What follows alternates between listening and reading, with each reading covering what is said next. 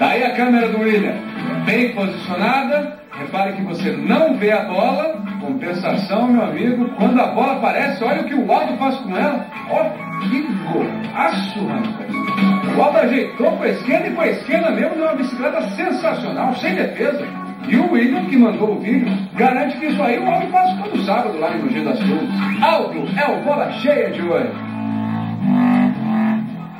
Ah, os mistérios da vida. Também tem a pelada organizada em Maceió pelo Cordeiro, que mandou esse vídeo. Times uniformizados, tá vendo? Cara de jogo bom, né? Daí a bola chega pro Fabrício debaixo do gol e.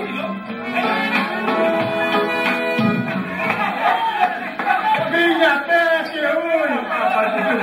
Tá filmando, tá filmando. O Cordeiro filmou e mandou. E explicou pra gente. Os times são formados por ordem de chegada. E o Fabrício é sempre o primeiro a chegar. Pra garantir um lugar, né? Ainda bem que não é pra escolher time, né, Fabrício? Fabrício é o bola murcha de hoje. É, Fabrício. Boa forma física não é tudo no futebol, não, meu amigo.